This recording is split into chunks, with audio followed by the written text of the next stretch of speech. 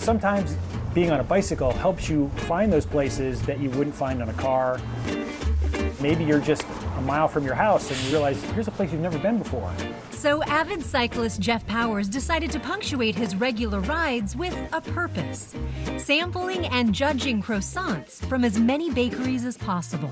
There's, you know, more than 30, you know, probably 35, just within five miles of, you know, where I live. He created routes and rode them over the course of months, ranking the croissants bracket style. I had seven groups of four, and then I had a, an eighth group, which was a wild card group, which was like the best of the second places.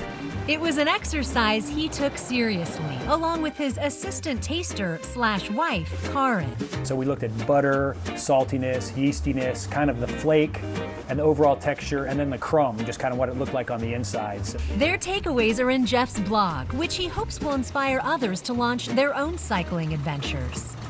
The wonders are around us, whether they're in your backyard or in your neighborhood or across the state or across the country or across the ocean. Turns out Jeff isn't just good at tracking down pastries. He's a former submarine commander who explored one of history's great underwater discoveries. Seems like a long, long time ago, I was uh, on an expedition with Dr. Robert Ballard to explore the inside of the Titanic. Jeff was one of three naval officers who descended two and a half miles down to take iconic pictures, like the ones shown in the movie. As far as I am from you right now is how far away the side of the Titanic was when we got there. So it was a pretty incredible experience. But Jeff believes in the beauty of discoveries both big and small. Yeah, that's fantastic.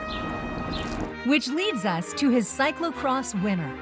You know, it's amazing when you just, you know, grab it and your fingers get buttery immediately. Moonrise Bakery on Queen Anne. This was like the most fantastic venue, this nice covered porch area, it's a quiet street. All those things go together and it just kind of made it, in our opinion, you know, just you know, really the best one around. But the truth is, no bakeries actually lost. It is definitely the grand winner for the Cyclo-Croiss competition that I did, but there's more bakeries out there.